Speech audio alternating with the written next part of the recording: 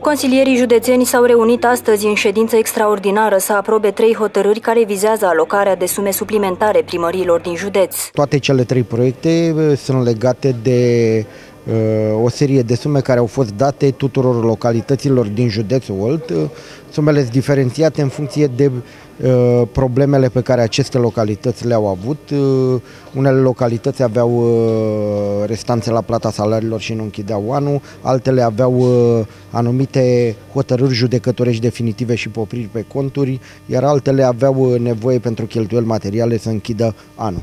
Iată, astăzi toate localitățile din județ au primit uh, aceste sume, iar cele trei proiecte de hotărâre, așa cum am spus, sunt legate strict de această alocare de fonduri către primării. Sumele sunt cuprinse între 50.000 și 500.000 de lei, în funcție de cheltuielile sau datoriile pe care le-a avut fiecare primărie. O serie de bani sunt uh, veniți uh, prin depășirea cotelor, Uh, datorită creșterii economice, depășirea cotelor estimate încă de la început de an, iar uh, alți bani sunt veniți de la Guvernul României.